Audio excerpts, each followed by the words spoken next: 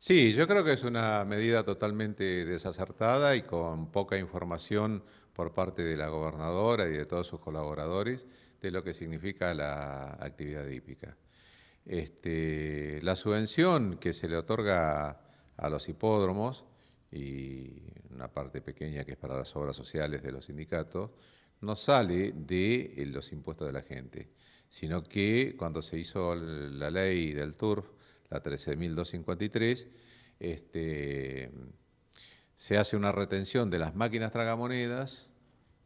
para este, eh, solventar los hipódromos, porque en el caso nuestro, el mismo Estado, Lotería de la Provincia, nos instaló un bingo con máquinas tragamonedas en la esquina del hipódromo. Ahora, llevar esto a cero y no darle a la industria hípica los elementos necesarios para poder este, resurgir, indudablemente va al cierre de los hipódromos, donde se va a perder muchísima mano de obra en forma directa de los, de los hipódromos e indirecta. Nosotros cuando hablamos de la industria del turf,